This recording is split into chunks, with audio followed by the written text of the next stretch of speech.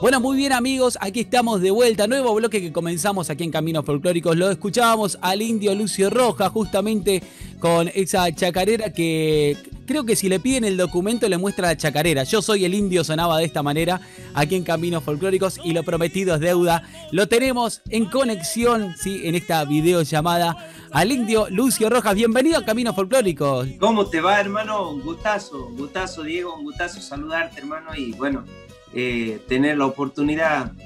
Qué, qué, maravilla lo que está pasando en esta pandemia con la comunicación.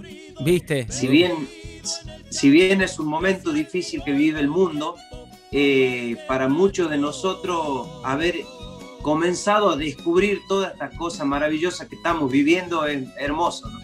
Sí, bueno, es la, la, otra cara de la moneda, ¿no? La que aprendimos a, a sonreírle, digamos, eh, y aceptarlo para, para poder seguir siendo felices. ¿No? Eh, y estar en contacto el uno del otro. Bueno, Lucio, la primera vez que estás con nosotros, eh, bueno, recién hablábamos, yo te estuve estudiando, quiso ser veterinario, profesor de educación física, después vamos a hablar de esas cosas, ¿sí? Eh, antes que nada, quiero, quiero saber cómo estás de salud, ¿sí? luego de todo lo, ocurrido, lo, lo, que nos enteramos, ¿no? esa complicación que obviamente ha movilizado a la familia y a todos los fans, a todos los, los escuchas, ¿cómo estás hoy de salud? Bien, hermano, bien, bien, gracias a Dios estamos bien, estamos seguimos en un proceso de tratamiento y de cuidado y de, ir viendo en cada momento qué, qué nos dicen los, médicos, pero bueno, gracias a Dios estamos muy bien, estamos muy bien, con muchas ganas y siempre pensando en mirar para adelante y empujar porque es para ir para donde quiero ir, ¿no? Lucio, eh, hablábamos de la cuarentena recién, ¿no? De este, esta nueva comunicación que estamos teniendo a vos te agarró justo en una consagración del 2020 en, en Cosquín y luego empezó toda esta, esta pandemia. ¿Cómo, cómo te, chocó esa, ese cese de actividad? Mira, eh, eh, nos agarró en un momento en donde la planificación artística que teníamos era maravillosa, donde donde habíamos puesto de manifiesto de nuevo todos los sueños y las intenciones artísticas nuestras, eh, porque sin ninguna duda siento que al indio Lucio Roja le ha pasado algo con, con las fiestas populares del país. Eh, a la música, a la música que tanto quiero, a las chacareras que tanto amo y que siento que son mi identidad, eh, se, se encontraron en las fiestas populares de todo el país y eso hizo a que, a que de hace un par de años tengamos unos, unos veranos maravillosos, unos momentos espectaculares, que, que, llegamos a la calle Corriente, al lado del obelisco, a cantar nuestras músicas, nuestra chacarera en el Teatro Ópera, que, que, que Jesús María me dio su consagración, que Varadero, que Cosquín, que si bien son festivales importantes, pero siento que hay muchas fiestas populares que me han, me han dado un apoyo incondicional eh, para encontrarme con la gente y que empezó a haber una comunicación maravillosa, ¿no? Y, y, y, este momento, cuando, claro, cuando arrancó la pandemia, lo primero que dijimos los primeros meses, y bueno, es como una vacación y claro. pasaba el tiempo, pasaba el tiempo y nos íbamos dando cuenta que esto venía sí. en serio y que, claro. y que, nos fuimos encontrando con un montón de cosas en el camino. Primero, primero eso, de pensar que ya pasaba, después el miedo, el temor, después comenzar a, a convivir con todos esos temores, esos miedos y la realidad que se vive, que se vive hasta hoy. Y creo yo que, creo yo que es un proceso, un proceso donde nos pone casi a todos por igual que eso es lo que más me gusta. Siento que hoy vamos a arrancar, muchos vamos a arrancar de, de, de, desde el lugar del inicio de nuestra música, de nuestras ganas de convivir, de nuestras ganas de participar y de nuestras ganas de estar latiendo, porque tenemos que estar latiendo todo el tiempo, nuestra música tiene que estar sonando, nuestra música tiene que estar siendo parte del silencio, de la tristeza, de la alegría que necesita la gente, por eso digo yo que esta, esta realidad que, que, nos deja la pandemia de poder comunicarnos hoy con vos, Diego, por ejemplo, eh, nunca la habíamos imaginado. Y si, y si aparecía, decíamos, no, total, yo de acá un par de meses voy a la fiesta popular. Claro. Eh, y hoy ya no es así, ¿me entendés? Entonces, gracias a Dios, este, vamos a poner de manifiesto eh, otra sensibilidad del cantor, creo yo. ¿no? Claro, totalmente, es así, es así. Eh, bueno, muchos saben, ¿no? Que también yo, yo sea en el programa digo que me dedico a la música y también se nos ha cortado todo y fue, fue justamente eso lo, que se ha sentido, ¿no? Para, más que nada para el que está en contacto con, el público y tiene esa necesidad también de, seguirlo de esa manera. Se vienen proyectos eh, nuevos para, para Lucio. Estábamos ahí, eh, gracias a Agustín, a la gente de Folklore Club también por, por hacer posible esto. Y nos comentaba, ¿no? Se viene bien argentino bien argentino, un nuevo proyecto donde estás encarando algo con Ángel Carabajal, ¿no? Con Iripino, querido, eh, Celeste Muriega, Facundo Toro. Comentanos qué es bien argentino, qué es lo que va a suceder. Mira, eh, yo, con, yo con Ángel Carabajal nos conocemos de hace mucho tiempo.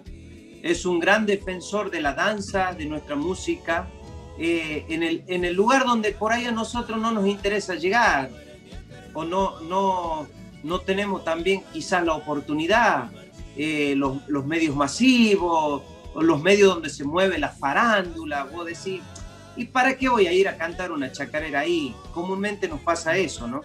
Eh, y Ángel, Ángel buscó de, de, que nuestra música vaya para ese lado, vaya para ese lado, pero gracias a Dios, Ángel se encontró con algo maravilloso que fue la respuesta de la gente, principalmente eso. Ángel es un gran autor, perdón, es un gran, un gran productor y, encontró a través de la danza, primero y principal, eh, poder, poder este, mostrar nuestra música con un montón de detalles que a mí me, encantó. Me encantó, me encantó, por ejemplo, escucharlo a Iripino cantar una samba. Todos podemos decir de todo, pero eh, Iripino mostró tener una sensibilidad tremenda cantando folclore. Entonces, eh, cuando, cuando me encuentro en la temporada con, con Ángel, que él estaba haciendo este, América, eh, me dice, quiero que seas parte. Y yo en ese momento eh, estaba pensando en que podíamos tener oportunidades de, de, de, salir a cantar. Si bien pudimos salir a hacer algunos shows donde las producciones fueron propias, cuando terminó la temporada, Ángel me dice, quiero, quiero arrancar con bien argentino, dice, para el invierno. Y le digo, bueno, le digo, nos sentemos a charlar, me encantaría, pero me encantaría estar cerca tuyo, produciendo, acompañándote desde ese lugar, porque es un lugar que a mí me encanta también. Así que bueno, empezamos a charlar y cuando, cuando yo sentí que Ángel, Ángel quería que, que, que, mi música esté de la manera que yo la siento, eh, yo voy a ir a cantar lo, que, lo, que, lo que canto siempre, voy a cantar esas chacareras del patio de tierra, voy a cantar lo que yo siento. Entonces, ahí como ya me sentí seguro de lo que quería hacer. Y cuando empezamos a hablar con, con Ángel de producir, este, bueno, gracias a Dios, él respetando, respetando cada una de las cosas que, que yo siento por mi música, respetando eh, mi forma de vestirme, mi forma de sentir, mi forma de decir este, te da la tranquilidad que es un productor que tiene una sensibilidad especial para con los artistas.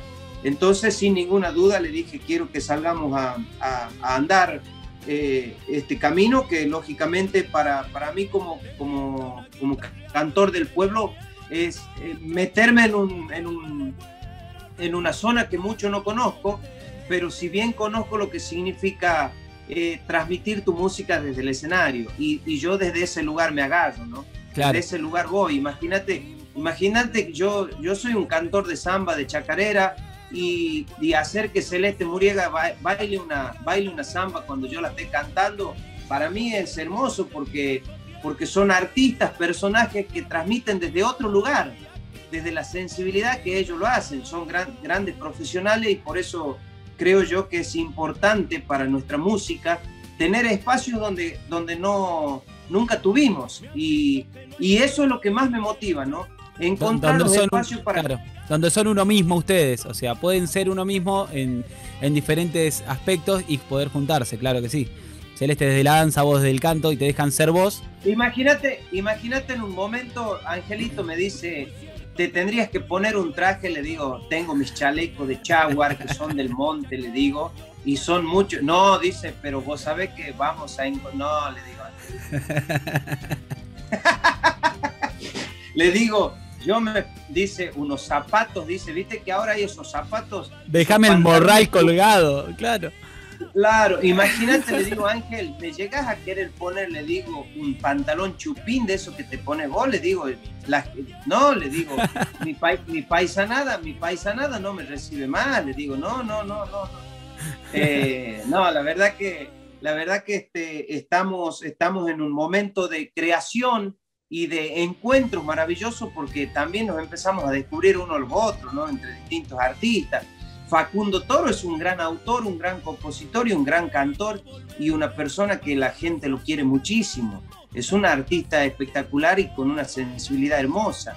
Eh, creo, creo yo que, hemos encontrado un equilibrio en, el grupo humano maravilloso, que es lo más importante también. Qué lindo, qué lindo todo eso. Bueno, vamos a estar ahí expectantes, eh, ansiosos también por, por, ver todo, todo ese espectáculo. Eh, que nos van a ofrecer. Y bueno, desde aquí, de Caminos Folclóricos, obviamente compartiendo todo ese material. Lucio, vamos a, volver el tiempo atrás. Eh, yo a vos te conocí, dije, ¿quién es el chango este que, está cantando ahí? ¿Quién es esa tercera voz? Que el, hueco que había dejado Franco Barrio Nuevo, eh, Mario Álvarez Quiroga, el Mono Leguizamón, Luisito Paredes, escucho los Carabajal y escucho, escucho una voz potente como, como de, esa, de esos años, ¿no? Y hasta que dijimos, como no estaban tanto las redes en esos años, eh, hasta que pudimos comprar el CD y vimos que decía Lucio Rojas, decía el hermano de Jorge, decíamos todo en ese momento. Che, ¿cómo llegaste a los Cara? Eh, ¿Cómo fue ese encontronazo con el ritmo santiagueño, no? Porque vos venís de, criarte con Chacarera de Monte, ¿no? Con, todo, todo ese ritmo norteño y, em, y empezar a cantar chacarera bien santiagueñas ahí punteada por, por el Cali. Mira, eh, los Carabajal para nosotros son el pilar fundamental de nuestra rama folclórica. Si bien nosotros, por ejemplo, para, para, que vos tengas una idea, en nuestra, en nuestra zona, allá en el Chaco Salteño, en el punto tripartito de las tres naciones, Bolivia, Paraguay y Argentina, no había cantores, referentes cantores de nuestra música en ese lugar hasta, hasta cuando sale el Chaqueño y Jorge, nosotros no tuvimos. Si bien ya más para la ciudad, digamos, que llegamos a Orán, estaban las voces de Orán que cantaban música nuestra. Pero en Salta Capital no se escuchaba un bombo y un violín y un coplero, no, no existía. No existía, tenías que ser cantor y que tener, o un solista y cantar zambas de amor o, un cuarteto donde, donde tenías que parecerte a, a los chalchaleros o, al, o, a, o, a, los cantores del alba, pero si no, nuestra música era de otro lugar y así la recibieron siempre. Nosotros, los de allá del norte, de allá nuestra música del Chaco salteño, eh, yo comencé a, a, escuchar los Carabajal cuando tenía 6, 7 años y era a través de Radio Nacional Buenos Aires, que donde, donde por primera vez nos dábamos cuenta que en otro lugar de la Argentina, imagínate nosotros allá medio el monte, había gente que cantaba y que describía su lugar como si fuese el nuestro.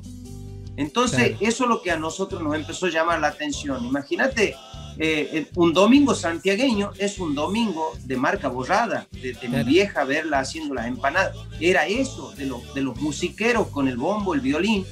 Eh, en otro lugar, ¿me, ¿me entendés? Entonces, eso fue lo que nosotros fuimos creciendo y los Carabajal y los Manceros fueron nuestros referentes, principalmente porque seguramente en ese momento eh, eran los artistas de referencia a nivel nacional, porque únicamente, aparte de todo eso, nosotros escuchábamos únicamente Radio Nacional y con horarios que ponía mi bisabuelo, don Felimón Valderrama.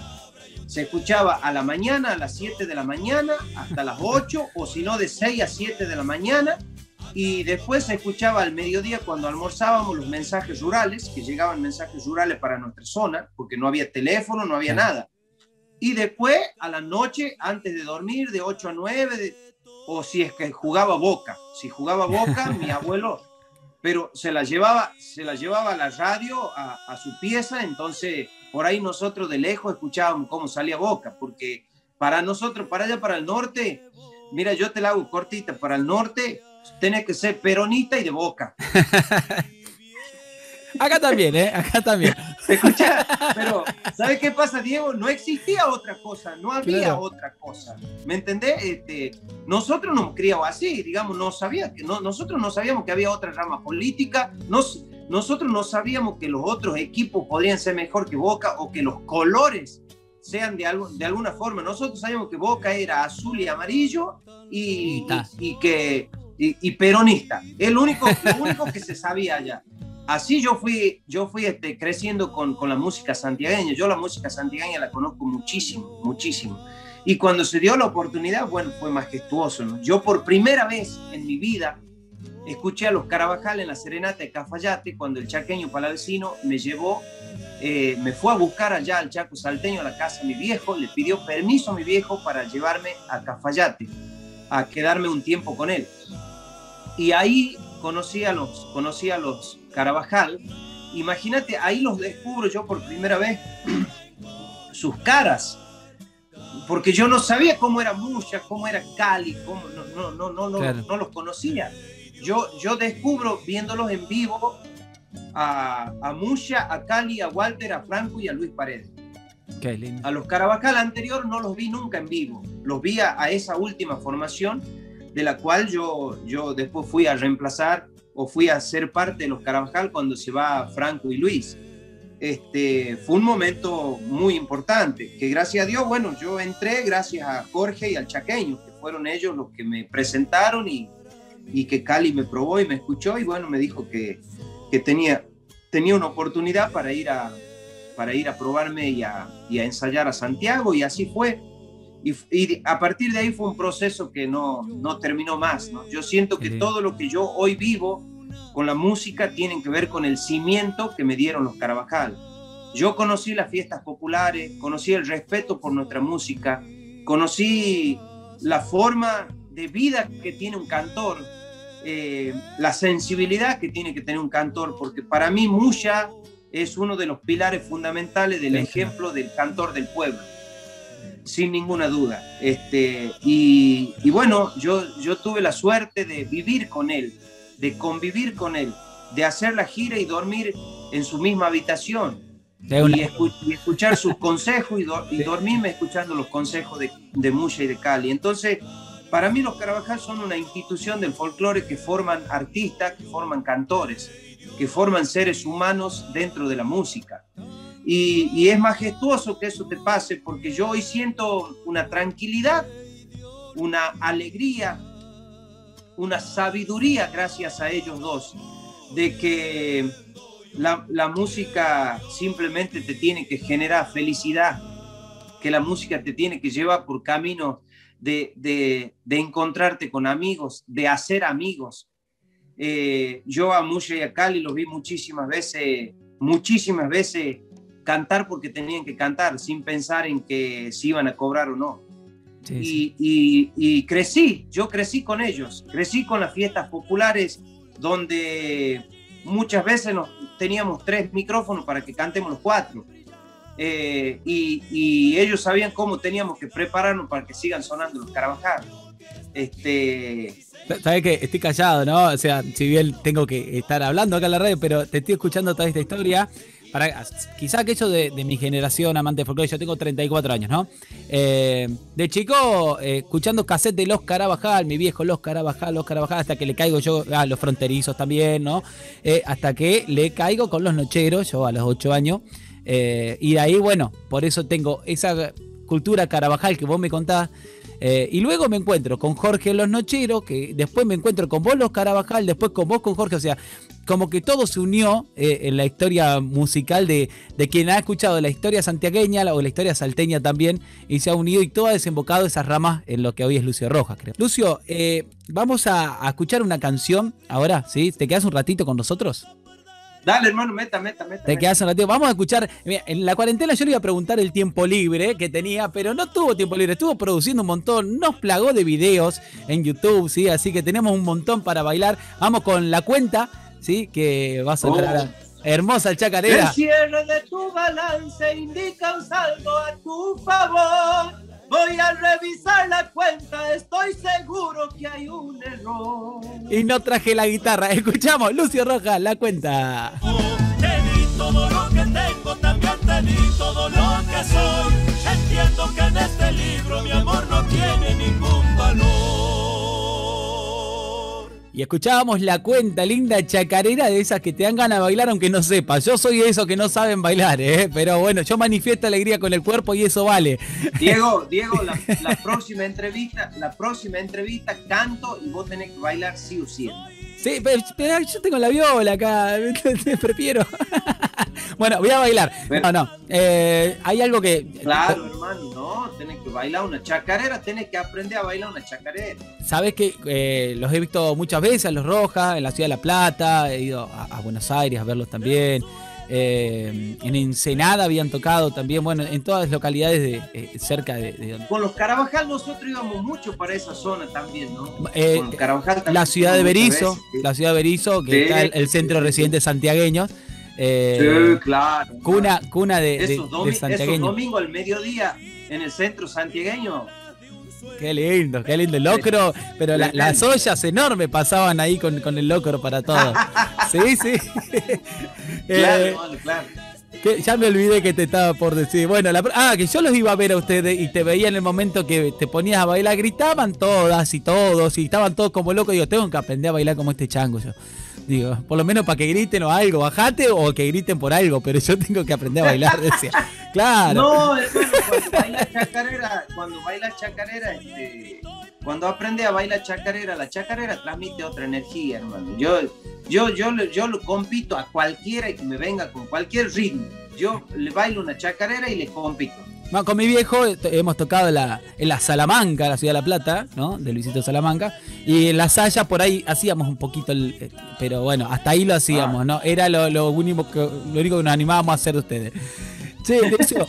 Eh, bueno, tremenda banda que tenés ahora, ¿no? Una banda hermosa, armada, donde yo creo, sigue como ese, ese legado musical que hemos escuchado, ¿no? Cuando, cuando estaban los Rojas. Eh, esa, banda con batería, esa banda enorme donde reemplazaste la guitarra distorsionada por el violín en tu caso. Eh, para armar esta banda que eh, ahora sí le dio la identidad bien salido del monte, ¿no? Comentame los muchachos de la banda, cómo llegaron a vos, porque es una banda muy linda la que suena, muy prolija, son unos monstruos. Bueno, yo, yo siento, por ejemplo, vos, recién lo describís perfectamente que y que muchas veces a mí me dijeron, dice, pero el indio dice, es lo que el Jorge dejó de hacer con los Rojas. Es una de las, es una de las partes, es una de las partes que nosotros, que nosotros este, los Rojas hacíamos. Y cuando yo digo los Rojas es porque somos parte del Alfredo, el Jorge y yo, ¿viste? Entonces, creo yo que los Rojas este, marcaron un camino maravilloso para la familia Rojas y, yo siento que mi música tiene que ver directamente con esas cosas, con ese sonido maravilloso que nosotros le fuimos dando a los Rojas. Eh, yo soy parte de ese sonido, el Alfredo es parte de ese sonido, el Jorge es parte de ese sonido. Eh, la banda, la banda mía es una banda que es muy folclórica, primero y principal. Por ejemplo, hoy en la base, en la base, batería y bajo están los hermanos Homer, Francisco y Abel Homer eh, tremendos músicos, tremendos músicos con, una, con una sensibilidad musical espectacular. Eh, las bases rítmicas de, la, de, la, de, la, de, las guitarras tienen que ver con, con, changos que son de allá del norte. El violín es de allá de Tartagal, es el sonido inconfundible. El bandoneón es catamarqueño, pero conoce nuestro folclore de una manera increíble.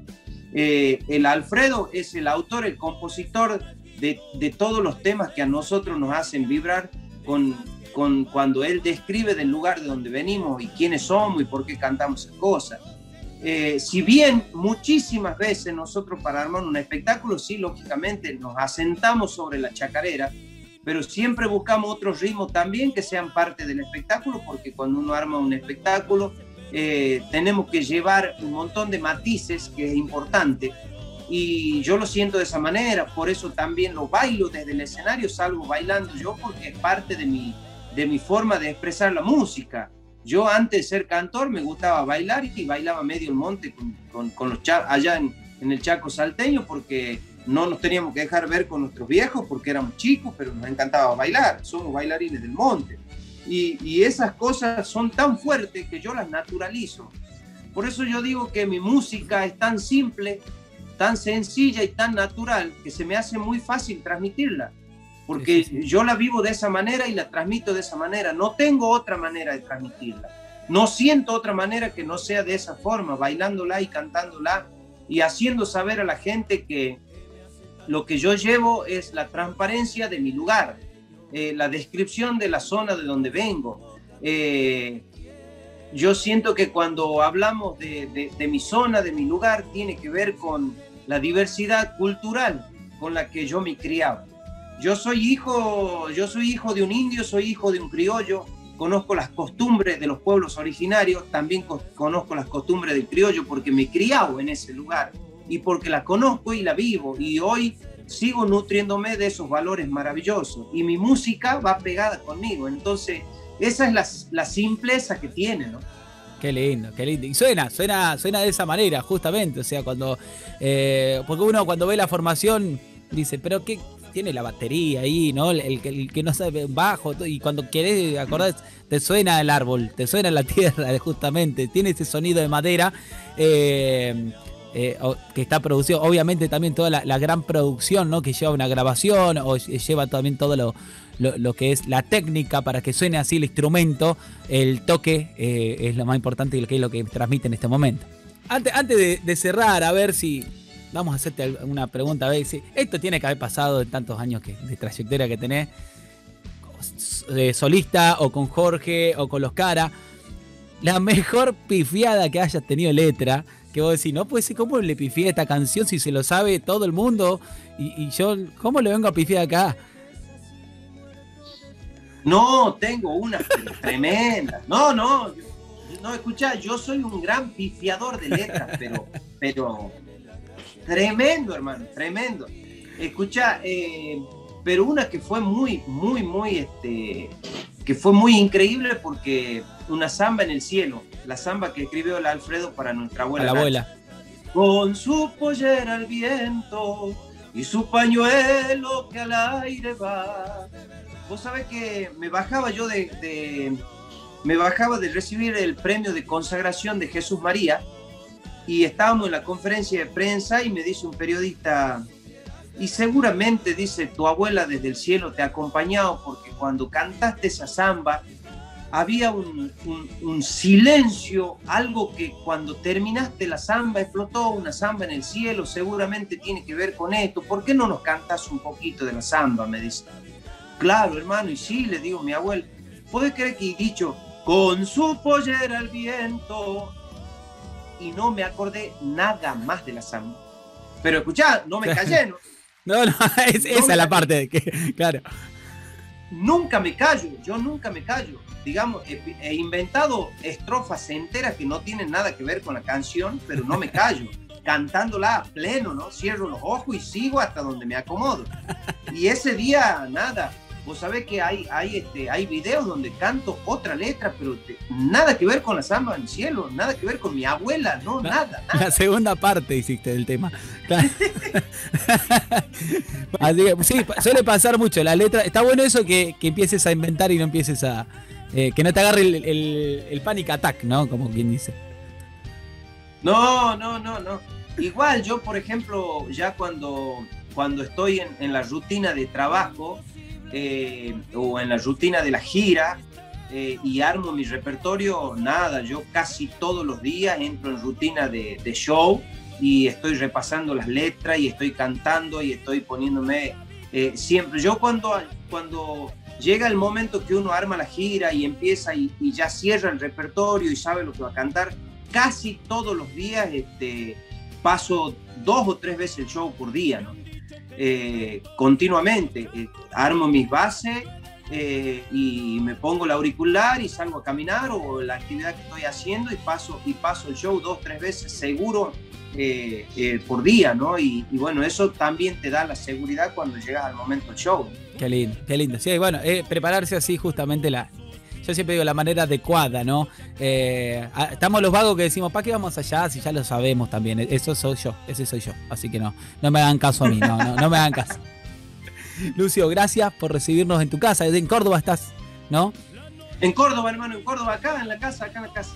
Gracias por recibirnos, por abrirnos la, puerta online, sí, para, para esta entrevista. La primera vez que está con nosotros. Esperamos tenerte muy prontito Eh, y bueno, eh, gracias a todos. Vamos a, cerrar con una canción que fue una de tus primeras canciones, vale la pena, ¿no? Eh, canción muy linda que suena siempre. me hizo acordar a que creo que fue así. Vos en Salta escuchaste una canción que te hizo el click, ¿puede ser? una canción de Alejandro Lerner que, has escuchado.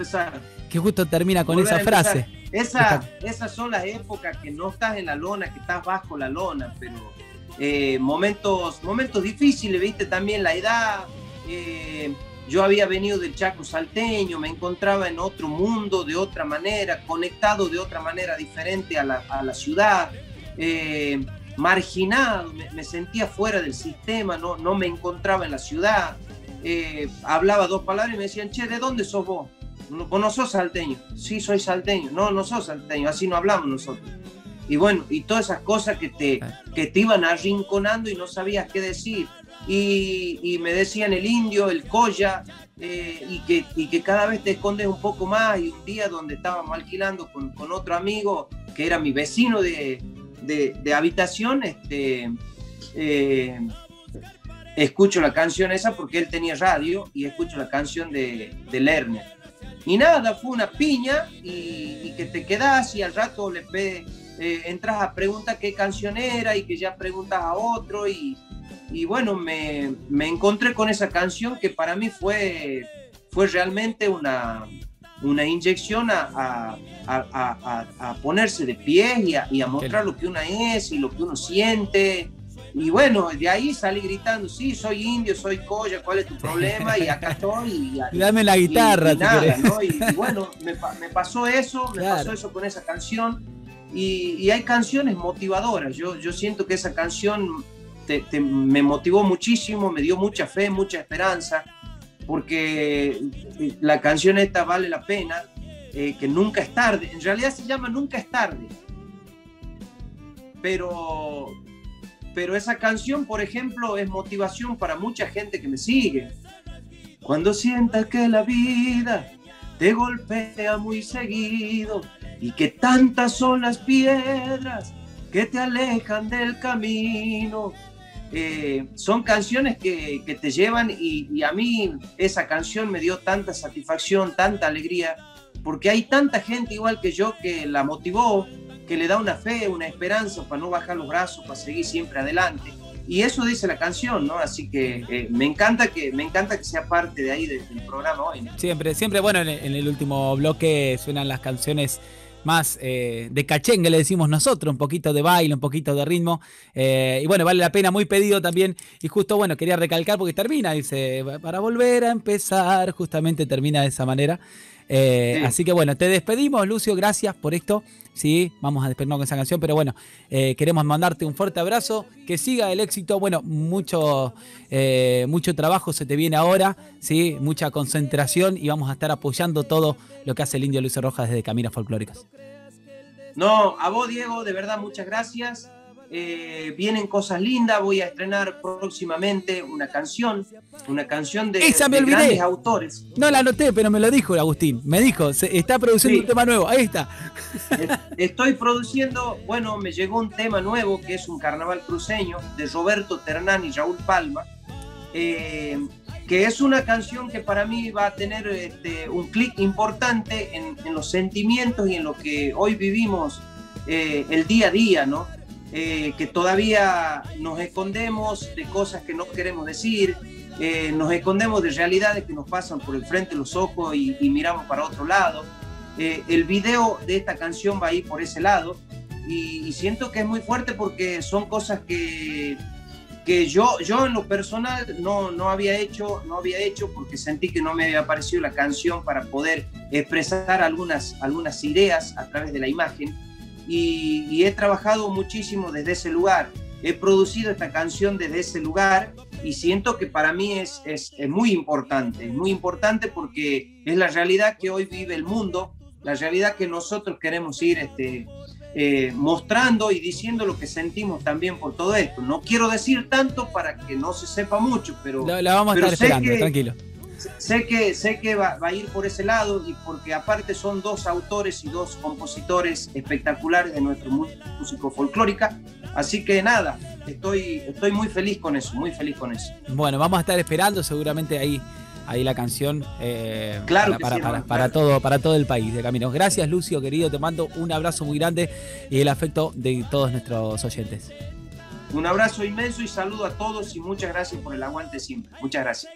Musiquita de mi pago, llevas en tu corazón la nostalgia que tiene solo el coplero en su voz. Yo soy el indio Lucio Rojas y bueno, estamos llevando nuestra música por el programa Camino Folclórico. A Diego por hacer el aguante a nuestro folclore, a nuestra música, un abrazo inmenso. El indio Lucio Rojas los saluda.